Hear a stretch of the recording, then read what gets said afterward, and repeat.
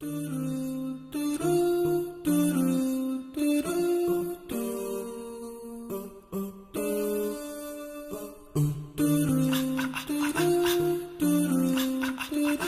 everyone, and welcome to another episode of the Business Hour here with Omar Rashid on Unity FM.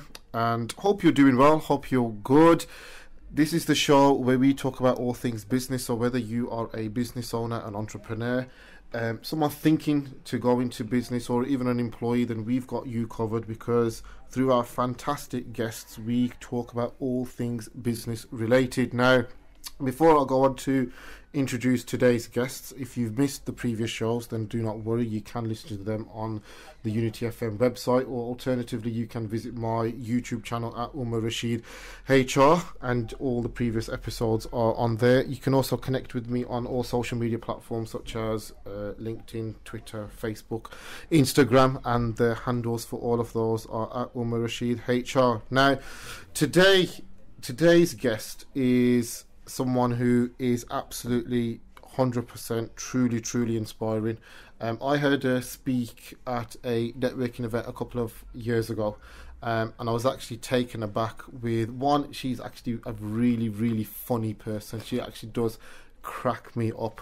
Um, but the journey, the inspiration, um, everything about her was actually truly, truly uh, inspirational. So for me, it is actually a great honour that I have got um, this lovely lady on today. So, no further ado, introducing her. So, she is a multi award winning inclusion specialist and a social entrepreneur, listed as one of the UK's most influential disabled people by the Shaw Trust and the BBC's 100 Women in 2020. She created Diversability, which is the world's first inclusive platform for disabled people, uh, and it's aimed at reducing the financial pressures from unavoidable extra costs of living with a health condition or impairment. She created the Asian Women Festival, uh, which is the world's first of its kind annual festival empowering South Asian women and underrepresented genders to be activist stereotypes and um, sorry to be activists of their own future. Um, she also creates the Asian Disability Network, which is an educational platform for people who experience multiple types of stigma due to their ethnic and cultural identities. She's won numerous honours and awards. Um, she's been Campaigner of the Year in November 2021 at the European Diversity Awards. She was named one of 35 under 35 uh, last summer by Business Live. She was voted most influential woman in leadership for 2021 uh, in CEO magazine. She has won the Outstanding Contribution to Communities Award in 20 um, December 2020 for investing in ethnicity. The BBC in 2020 November had her listed as one in the 100 women's list as well and she's also won Future Face um, Future Faces Awards as part of the Greater Birmingham Chamber um, in 2020. And the most impressive thing, which we will talk about, is that she's also had a cameo experience um, in EastEnders as well. Ladies and gentlemen, without further ado, we have Shani Dhanda on today. Shani, welcome. Thank you. Thank I mean, you. I've had to kind of cut down your bio because it is quite amazing and it's quite inspirational. Um, so well done. It's Thank amazing. Um, I know I've been inspired by yourself, um, and one of the biggest inspirations I'm going to take personally from you is. Yes, you have a physical disability. My son also has a physical disability, Mm. um, and I look at, you know, actually we shouldn't be so restrictive. We shouldn't Mm. just think actually people with a disability that's it they should be at a certain level. Yeah. Actually, if you push and you give them that encouragement, um, you know, and through the grace of God as well, we don't know the levels that they can achieve. So, thank you for being a slight inspiration for me as well. Thank you. Thank How are you anyway? I'm good. I'm good. I'm really happy to be back in Birmingham. Yeah, just catching up with everybody, and it's a real honour to be here on your show. Thank you, thank you. A lot of people say that as well. um, it's you say you're back in Birmingham, Mm. and, and that's because very recently you was in Dubai, wasn't you? Whilst we were freezing ourselves off in December. You Yeah. was in nice sunny Dubai. what was you doing over there? Uh, so I was invited to go and speak at Dubai Expo, all around entrepreneurship. Nice. So uh, yeah, it was for the UK Pavilion. So yeah, it was a really nice moment to represent the UK on the world stage, such as the Expo.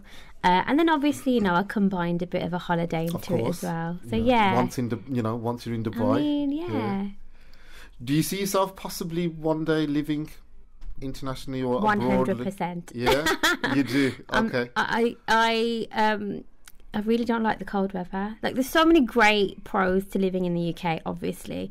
Um, but for me, I've I've said it from a really young age. I could just want to live in a warmer country. It helps my health as well because my bones really hurt in the cold weather. I sound like an old woman now, but yeah, uh, absolutely. And she's not an old woman because, like I said, she was one of the 35 under 35s uh, to to look out for. Any particular country you're thinking of? You've got your eyes on that you would want to? Yeah, I? I definitely want to spend some time in LA.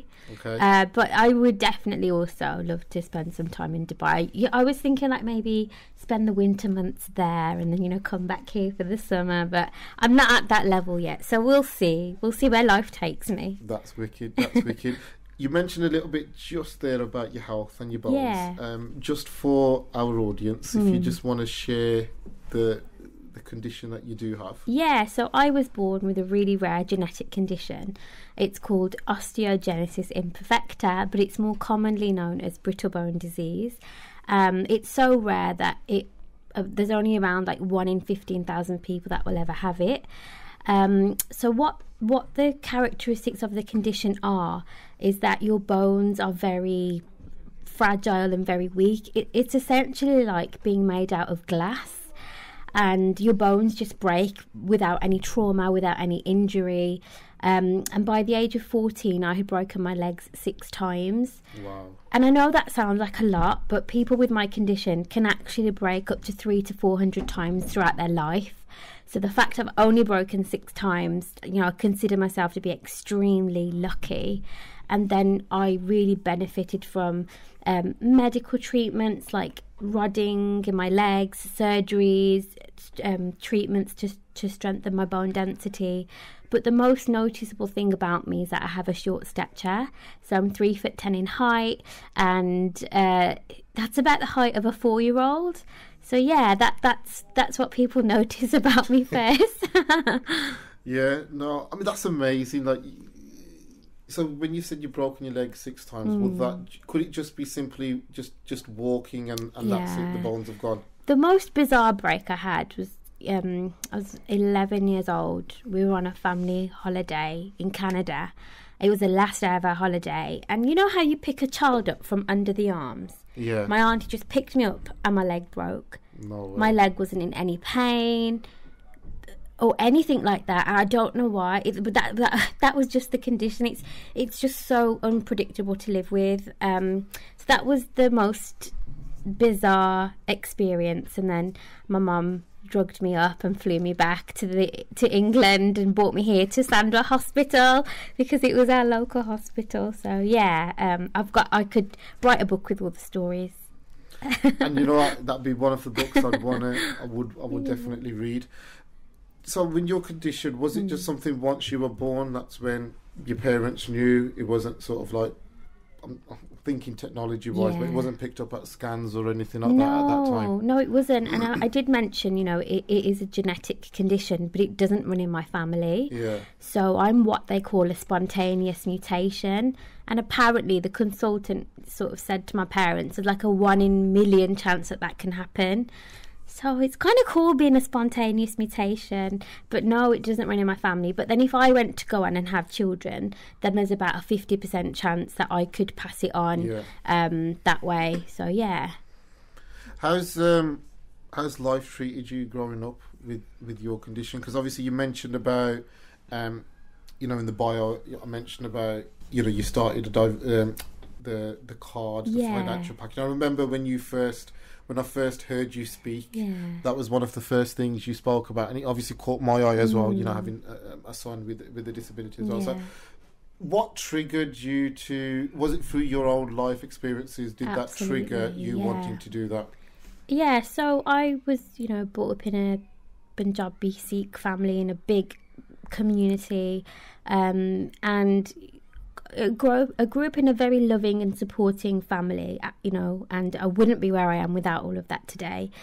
But I was continually faced with low expectations within my family, but within the wider community as well. Um, I actually went to a special needs primary school because that's what inclusion was over 30 years ago. I loved it, don't get me wrong, I used to play all day.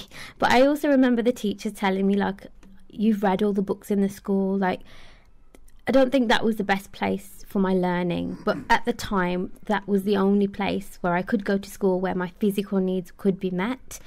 Then I went to a mainstream secondary school, so suddenly I was in a massive, you know, school with hundreds of children. It was a real cultural shock for me, but I think when I got to secondary school, I just sort of realised I don't really know the basics here in education because not only was the education different in a special needs school, but then because of all the breaks, I missed loads of schools as well. And despite, you know, my mum giving me extra homework from school, creating her own version of homework and going to the school hospital, um, it doesn't it doesn't beat, you know, that kind of that education you get in school. Um, so yeah, I, I I would say I've always I felt like I've always had to play catch up um, in terms of education. I would never call myself academic, and that's why you, when people ask me what's my most proudest achievement. I could reel so many things off, but it's actually graduating from uni because I never thought I'd go, and then I did, and then I graduated, and it's it's one of my biggest personal achievements. What did you graduate in? Um, I did my degree in event and venue management, Okay. and then I went on to be an event manager for 10 years. And some of my clients included some very famous people like Anthony Joshua, Tyson Fury. And what I really loved in that job is because I'm three foot 10, I have to think outside of the box every single day. Like, I have to figure out how to reach my kitchen cupboards, how I'm going to drive, you know, how am I going to get clothes to fit me that I want to wear. So I was really good at problem solving, and that's what event management is all about. You know, it's mm. about planning, being methodical, knowing what to do in a crisis. Um, and I, I just love the fact that I could challenge people's perceptions just through doing something that I loved, which was event management. Okay. I, I can actually picture you as an event manager. Yeah. Um, pointing, directing. That's it, You yeah. know, Stacey, Stacey, why isn't this done? Or, you know, I can actually picture Yeah. you actually being quite a good event manager. Yeah. Okay. Um, so with the Diversability, the card sort of thing. So how how did that come about? What was Hmm. It? Uh, and, and where is that at this moment in time? Yeah, I know.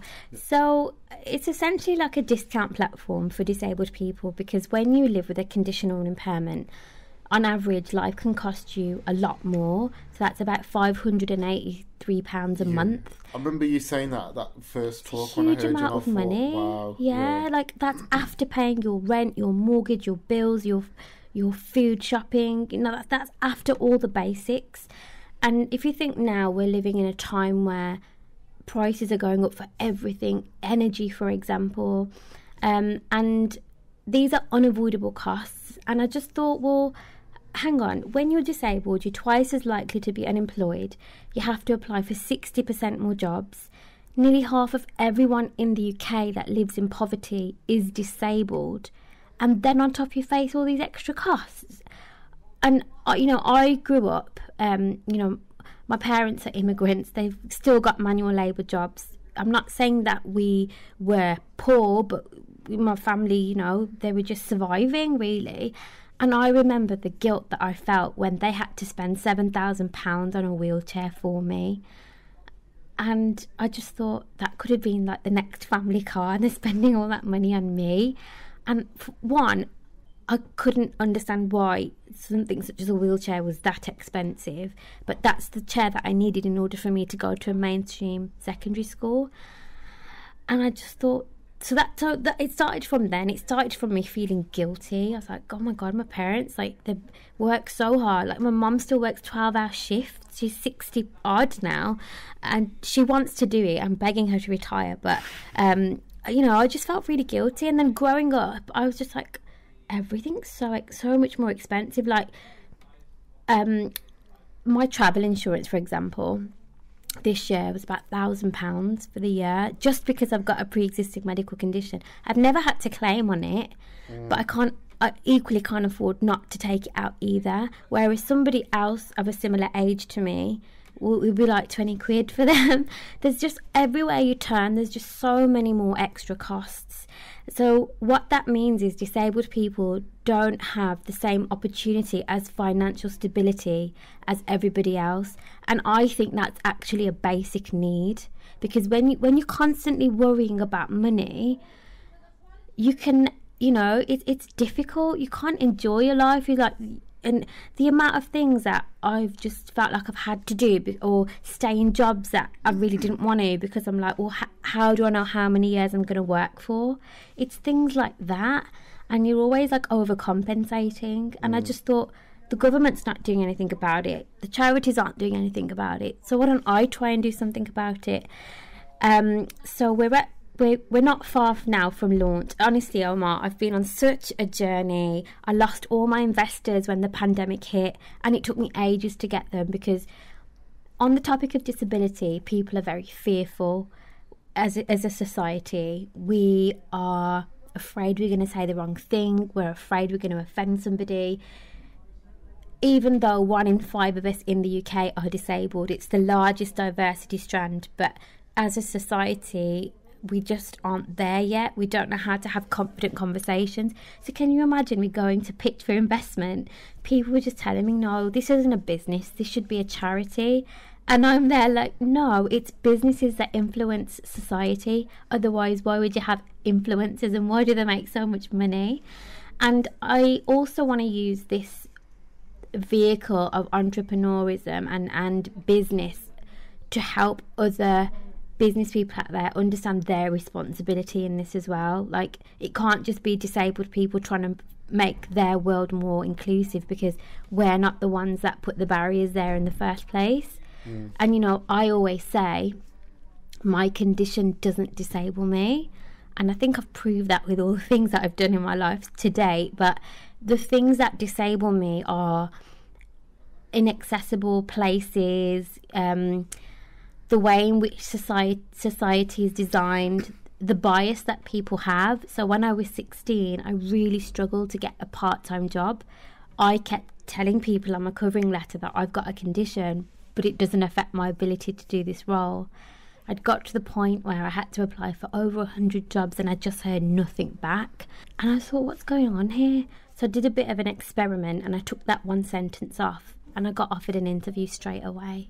Wow. So at the age of 16, I got a real harsh life lesson that life's going to be hard. You're going to always have to work 10 times as hard as everybody else just to be even given half of half of an opportunity.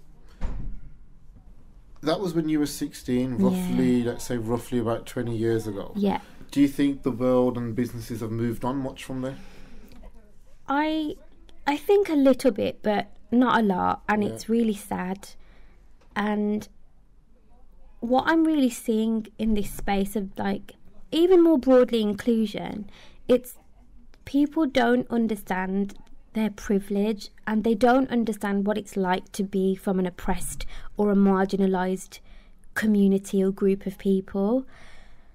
And especially disability, you know, it's so it's such a diverse community in itself. If you've met one disabled people, you uh, if you've met one disabled person, you've only met one disabled person.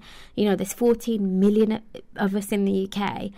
People get stuck on approaches, you know, to disability inclusion, and that's understandable. But but I think you know, there's so many experts out there that can help. But no, sadly, Omar, I I don't think much has changed, and I think that's why I became an entrepreneur because I just felt that I couldn't rely on other people to give me opportunities.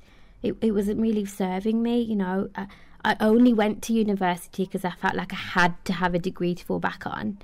Um, so yeah, a lot of the things that I've done in my life aren't because I've wanted to. It's because I felt I've had to just to survive, and I don't think anyone should have to live like that. You know the first job. So what was the first job that you had? My first job was in a call centre. I was selling photography packages. Okay. I was awful at it. but it was brilliant. Like I got my foot in the door. I had my first interview. Um, How did um, the employer, or you know, your early employees, how Yeah. d employers, how did they kind of react? Because I'm, I'm sure, I, uh, not making excuses for Hmm. them or anything, but sometimes there is that little bit of a fear, like, Hmm. what do I say, or because obviously, look, people will look. Yeah, That's just naturally people kind of look, and, and, and like you said, your your Hmm. your height is a head turner because people will be like, Yeah. you know. But how did early on businesses take to obviously having a disabled employee like yourself? Well, that was the reason why I put it in my covering letter because I thought as soon as people see me, that's what they're going to s- notice on, about me. So why don't I just be the person to address it? Not, you know, being a bit naive, I guess, at the time, not realizing it wouldn't go in my favor. Um, so now, yeah, it's some people treat it like the elephant in the room because in some you know circumstances especially in interviews people can't really ask you about your health and things like that. So um, what i do is i would use the interview opportunity to say and if i am successful in this role these are the adjustments that i would need. But i'd be doing that to put them at ease. Not not not for my Yeah. benefit but i know that that's the way in which i have to operate in this society. And this is so ironic, Omar, but I'm the one that lives with my condition, the pain of it, and the inconvenience of it. But I'm always having to think about everybody else because I know that people react awkwardly to me. How ironic is that? Scary, isn't it? It Yeah. is. It's, I suppose, look, not not the same level, Hmm. but being a Muslim, sometimes Yeah. um, when I, when I wanted to go and pray in the in you know at work, and I'm thinking, okay, it shouldn't be difficult for me to ask for a prayer room. Hmm. It shouldn't be difficult for me to you know do the ablution beforehand, sort of stuff. But you are. You're right. You're thinking of what other people will think, or Yeah. how am I going to make it awkward for them, or you know, make sure that no one walks across. Or if someone is going to walk across, I've blocked everything off. Hmm. It is.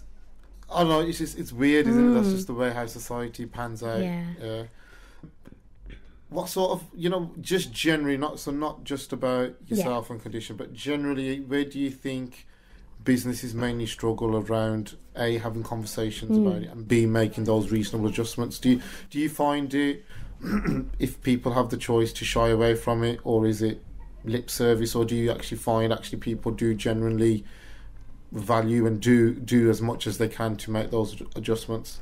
I think it depends on the confidence of the employer and the culture of the workplace. Um, what about resources?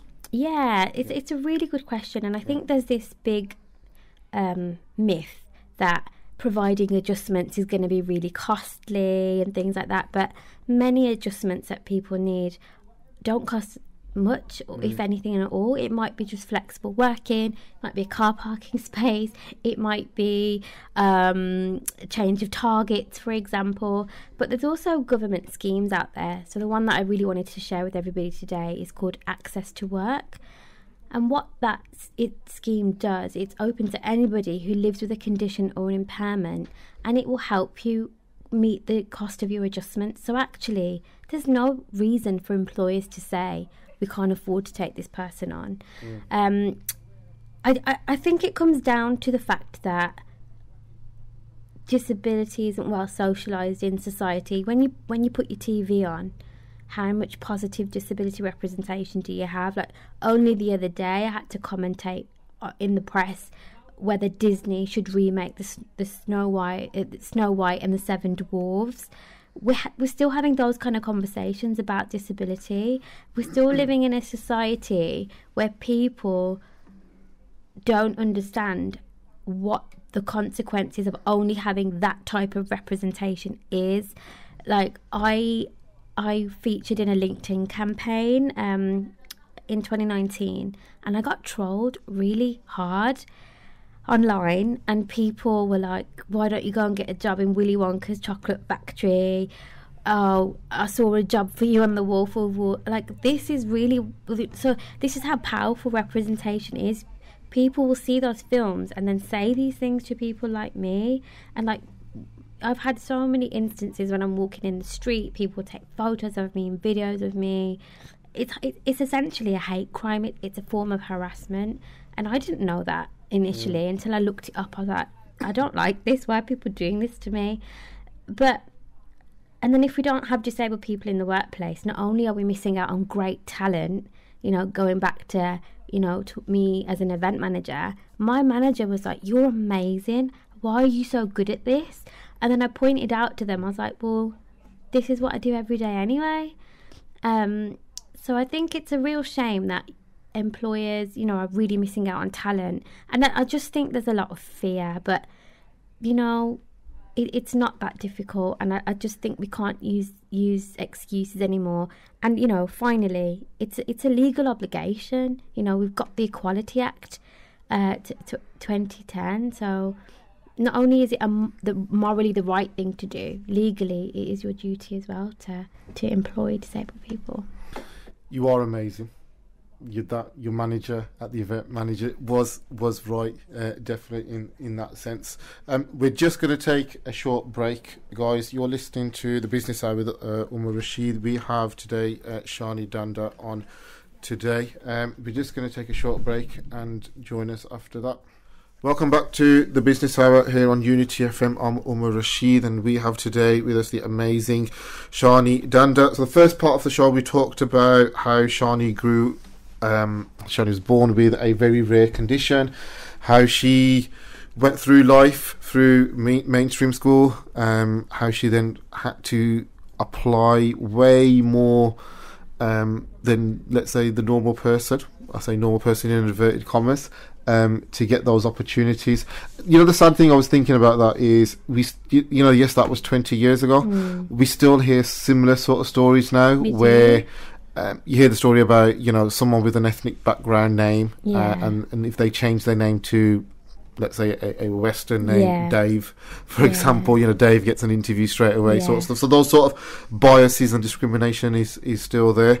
Um, I love that I found out that you you've got a degree and using event management, and I can definitely see you being an amazing uh, event management. uh, well, yeah, baby, but I think in a really really good way, and I yeah. think you'd be an amazing job sort of st- um, a manager as well, boss as well. Um, we, we, then kind of look just before the break. We touched on a bit about your experiences at work and, yeah. and reasonable adjustments and and everything like that.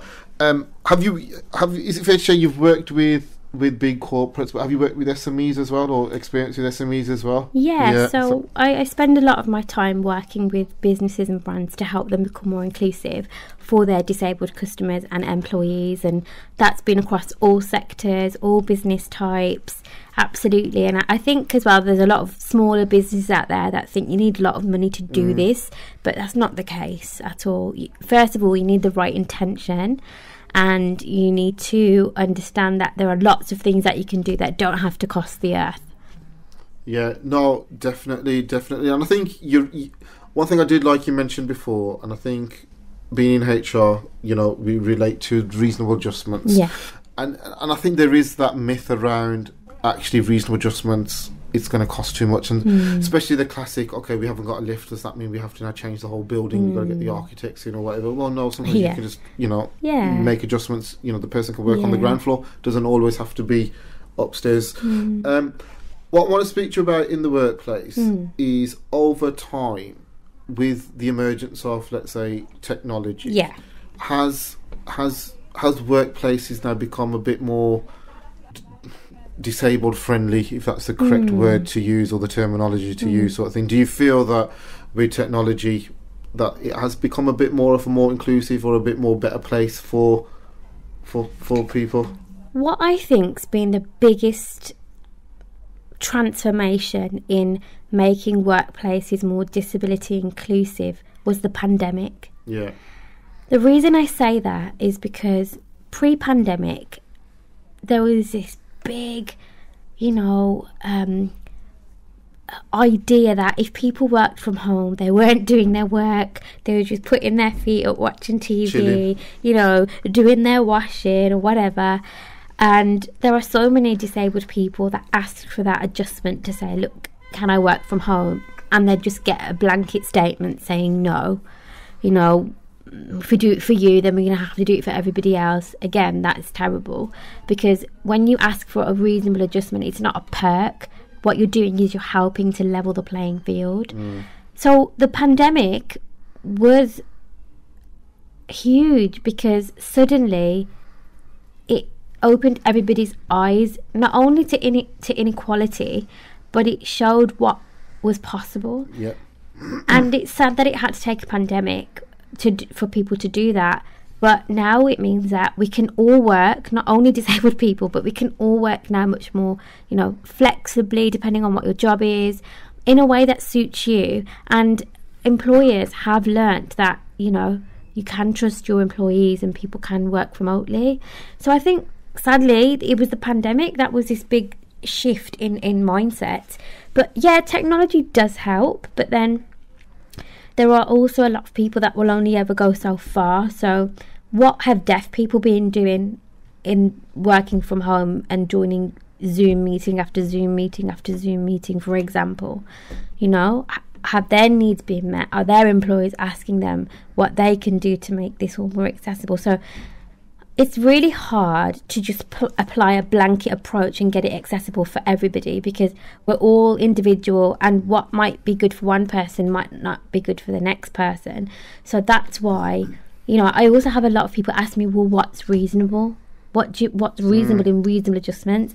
And that again all comes down to the t- the nature of your business. Individual yeah, well, yeah. and the individual and it ha- has to take into account you know the environment the job and everything. So there's no like blanket way to just say this is reasonable and this isn't. Um but what i always say is out of the 14 million disabled people only about 20% of people were actually born with their conditions. So that means 80% of disabled people throughout their life have acquired their condition. Mm. So the chances are that disability will affect you, whether that's directly or within the workplace, or it might be a loved one. And if that was you, if you went on to acquire a condition or an impairment, how would you want to be treated? Wouldn't you want to be treated with respect and with mm. dignity? Wouldn't you want an opportunity to continue working?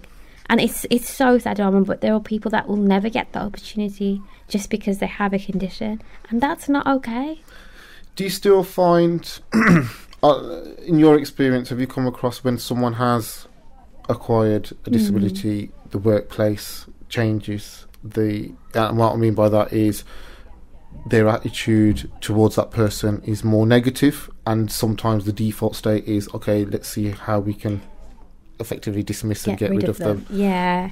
It's really sad, but I've, I've heard that. I've had people say that to me. I've had employees where that has happened to them as well. um, and again, another really interesting fact about disabilities is 70% of disabled people live with non visible conditions or impairments. Yeah. I think when people think about disability, all they think about is ramps and wheelchairs.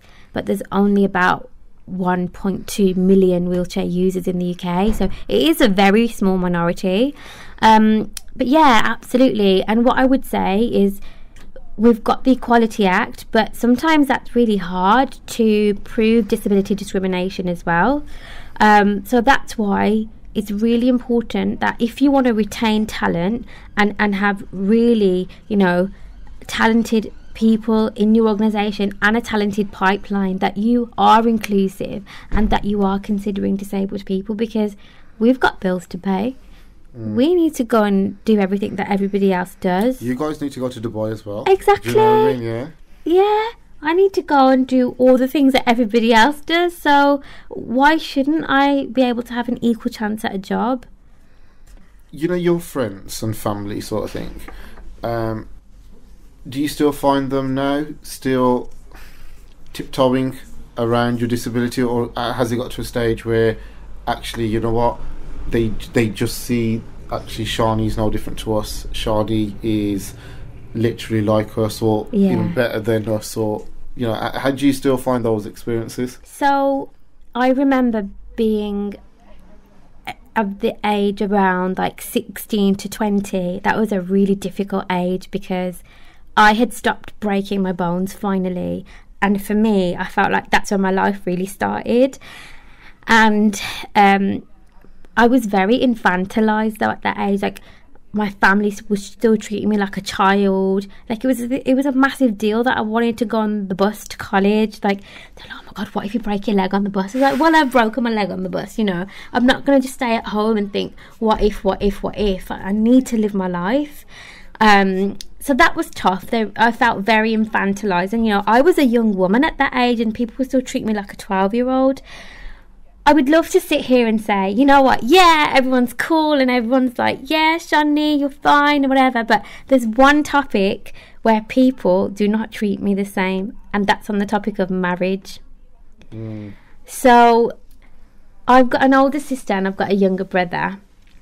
And, uh, you know, in, in South Asian communities, everybody only ever talks about people's weddings, don't they? Like it's the be all and end all. And look, no offense to people that really believe that that is a real big thing to do in your life. Like, I totally respect that. But personally, for me, and for many other people that I know, like, marriage isn't my only definition of success. There are so many other factors. Um, so yeah, as soon as my older sister got married, you know, people started then talking about my younger brother's wedding, and he was like ten at this age when my older sister got married, and I was like, well, what about me? I'm the next child, Mm. and people like just looked at me. They, they were they were just shocked. So, um, I think when you live with a condition or an impairment, people assume you don't have the same needs and desires as everybody else, and it, yeah, it was ironic again because like I'd grown up in a family and they're like, there's nothing you can't do, you know, there's, you can go out there and do everything, but then something so intrinsic to our culture I, I was never included in. And even now, oh my, I'm 34 years old. My parents have never hassled me to get married.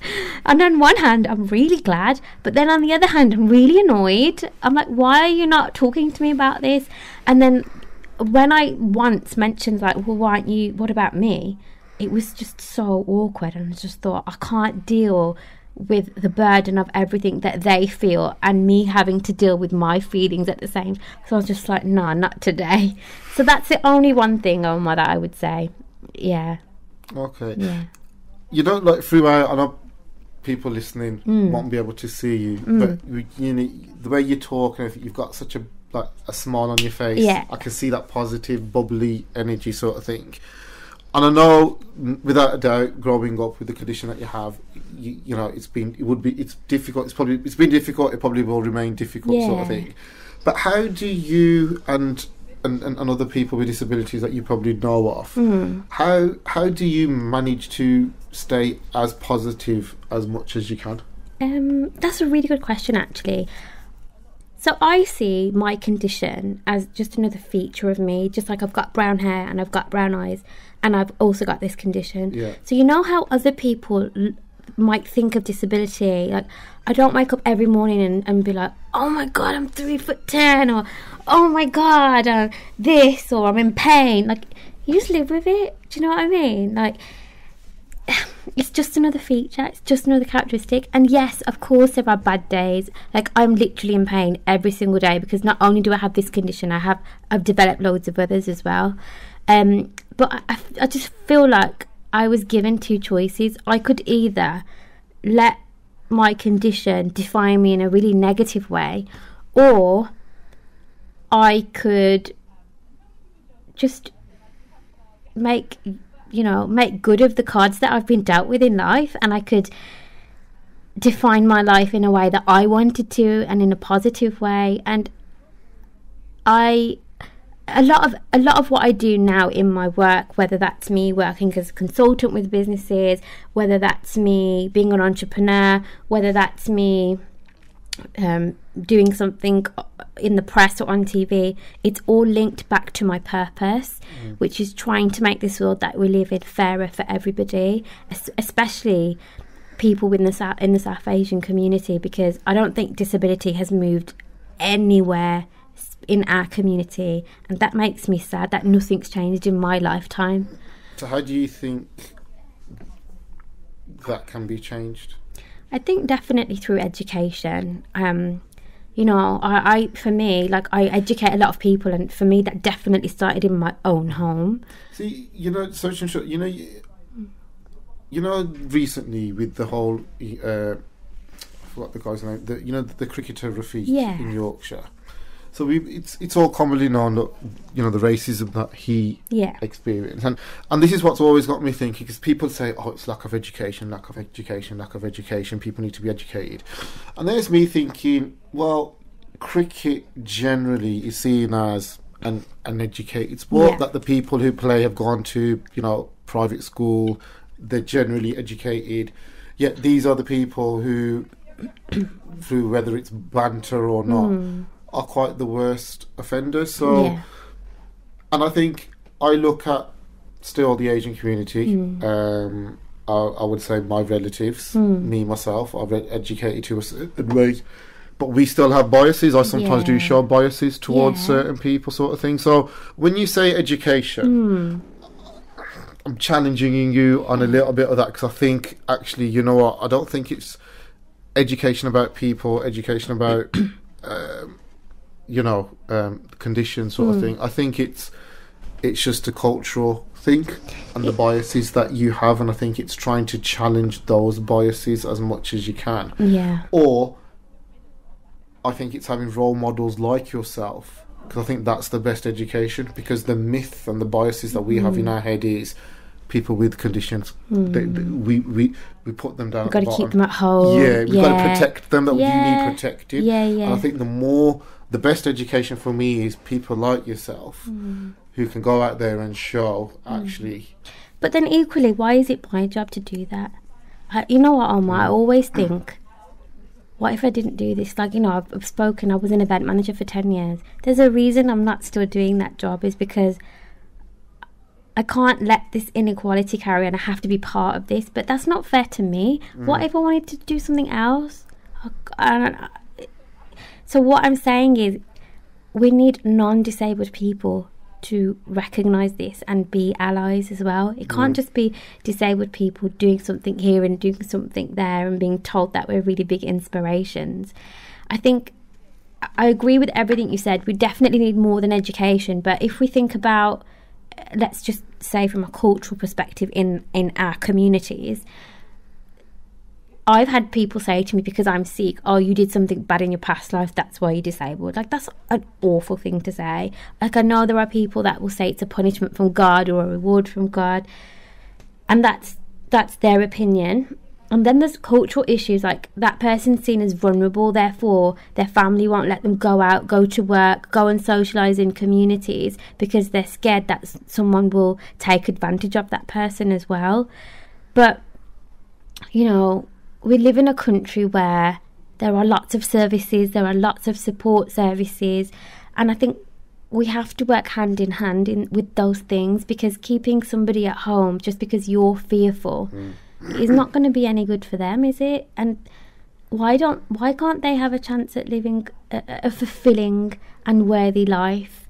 I I remember people in my family said that to me. Oh, you don't have to work, do you? You can just claim benefits. I was horrified. I was like, what am I going to do? Just sitting at home all day? Like, I want to contribute to society. Um, and, and ironically, like, people had such low expectations of me, but I think I've achieved the most. when I look around, like, especially my family circle, my cousins, and things like that. So, I, you know, it just goes to show if you empower people. I'm just thinking, hopefully your cousins aren't listening to the show now.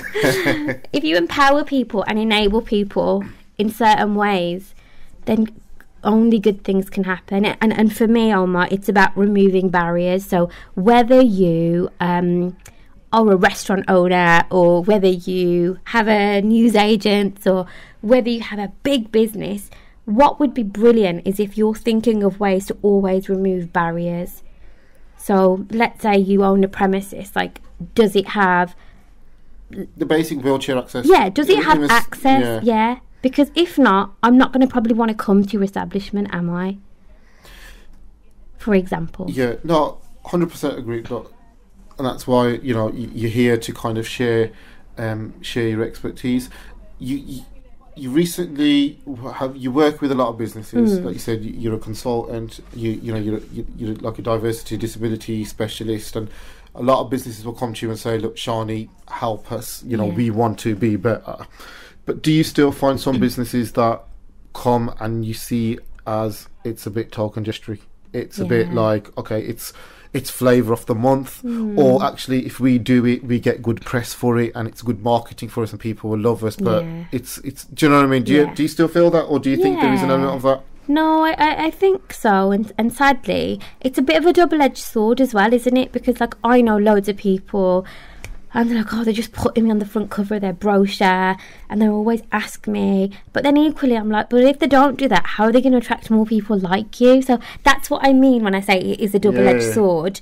Um, so yeah, but. It, but for me, it's not always about these big gestures and billboards and marketing. It's a, it comes down to the small actions that you have as well, like how inclusive are your job adverts, how good at you are making reasonable adjustments, how fair are your policies.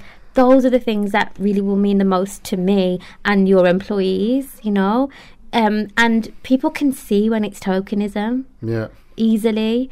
So nobody's fooling anybody. And you know, there's there's sites out there like Glassdoor. It all will come out, I'm scared to read sometimes Glassdoor because right? I, I am scared because some of our clients, you, you're having that conversation Yeah. with them, but it's it's like you, you- you're just talking to a brick wall, Yeah. and it's like you're not going to change that mindset. And and the difficulty is then how do you step away, or because something bad happens, you, Yeah. you kind of it. I'm just conscious of time, so quickly I want to speak to you. Look, you was on EastEnders. I was. How did that come about? How did that opportunity come about? Oh, okay. I'm a massive, massive, massive EastEnders fan. Like I've watched it since. Peggy Mitchell and Grant Mitchell. That's that- literally like my earliest Yeah. memories of my childhood include EastEnders, and I'm I um I have an agent now, and I'm not an actress, I have to say. And they said, "Oh, do you want to do you want to go and audition for this opportunity?" Because they knew I loved EastEnders. I was like, "Yeah," but I didn't think I had a chance in getting the part at all. I just wanted to go, you know, just wanted to be a part of it. Just wanted to go hang out in Albert Square. So anyway, I went, I did the audition. They called, then they called me back to do it again, and I, I got the part. It was only a very small part, but it was with lines. It was in a big storyline as well. Um, and my mom actually said to me, she goes, "Do you know when you were younger, you said that you wanted to be in EastEnders?" I was like, "No way." Uh, so that's how that came about. What was EastEnders' um, motive? I'm not, and I don't say that to belittle any skills Hmm. So, that you have or anything. yeah. But was, was was did they have a? Was that part of a plan to say, look, we want to promote or recognise or Yeah. highlight, you know, So the- disabilities? the brief wasn't just for disabled um, actors or anything like that. It was just an open. It was just an open brief. It didn't say, you know, we want a person that's this or looks like this. And I think that's where it works best, right? I don't. Yeah. I don't want to always be looking at what boxes I can fit into. And I, I have had people say to me, you know, oh, you only got that job because you're disabled, or oh, you only got that because they don't have any disabled people Yeah. and it, it really hurts like of course you don't want to be a token hire um but when when people constantly think that of you it's really like undermining as well Yeah. so much so that i went to work the next day and i asked my manager i was like why did you hire me that's how insecure it made me feel i was a lot younger in my career at this point and I was like, because someone in my family said this, and they were horrified. They were like, someone that knows you in your family said this about you. And they were just like, well, no, you're qualified. We love your personality and you get the job done. That's why we've hired you. And I was like, oh, okay then. so, yeah, it, it really does, um, it really can affect your confidence, you know, things like that. But no, I'm glad to say the EastEnders thing is just, uh, I know, they just liked me, I guess. Wicked, wicked. Um, you've been on a lot of other TV as well. Yeah. Um, it's daytime TV shows. I can't even read them off because I don't even know. Thing. Loose Women is one. do swimming. Uh, I've been on this morning, and then I also review the day's news on uh, Jeremy Vine on Channel Five as well. Okay, Yeah. okay. How how do you feel? I mean, and, and, and- do you, do you because I think I've seen clips where obviously you are talking about your history, you are talking about your condition, you are talking about your experiences, sort of thing. Do you feel like you are a role model for for let's say the disabled community? Uh, is that your intention, or is it just inadvertently that you've become, let's say, a voice? And Yeah.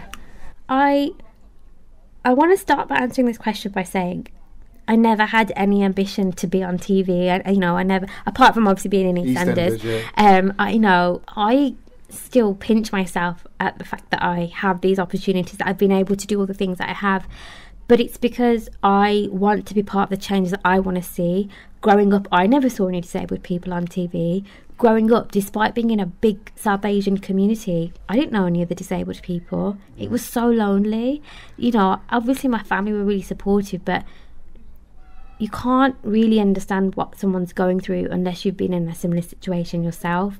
And um, you know, everything I do is to create change. So I see these opportunities as uh, opportunities for me to take up that space. And I've gone into it thinking, yeah, I'm representing disabled people, but you should see the feedback I get. It's from all different types of people, including non disabled people. So I'm really proud to just take up space for people that just don't have a voice, that don't feel um, heard or seen. It goes beyond disability. So I'm, I'm really proud of that. you should be, you should be, Shani. Massive, massive thank you for coming on today. Thank You've been amazing, really, really insightful. Um, I've learned a lot. I've enjoyed it. I hope the listeners have enjoyed it as well. Maybe when you're, maybe when you're a recurring star on EastEnders, maybe you'd like to come back then as well. Absolutely. Thanks for having me. Brilliant. Thank you very much, guys. You've been listening to the Business Hour here with Omar Rashid on Unity FM. We've just had Shani Dhanda on the show. If you just caught the back end of the show and you'd like to listen more, um, we will be replaying the show again on Saturday at 5 o'clock. Alternatively, you can go on my YouTube channel at Omar Rashid HR and listen to the show again as well as other previous episodes. Um, please also reach out, connect with me on other social media platforms such as LinkedIn, Facebook, Twitter, and Instagram. Um, the handle for all of those are at Omar Rashid HR. Please connect with me, give me feedback on the show, on our guests. Even if you like to attend um, or like to be on the show, um, then reach out and we can see if we can make that happen. Um, until next week, please do tune in again next Tuesday, 6 o'clock. Until then, stay safe and thank you for listening. Assalamu.